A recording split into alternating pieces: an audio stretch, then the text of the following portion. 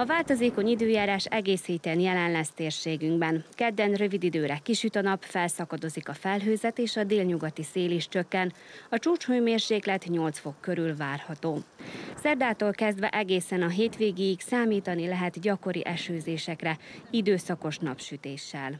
A hőmérséklet fokozatosan csökkenni fog, és a hétvégén a legmagasabb nappali hőmérséklet 5 fok körül alakul majd fagyra nem kell számítani. A hőmérséklet minden nap fagypont fölött lesz.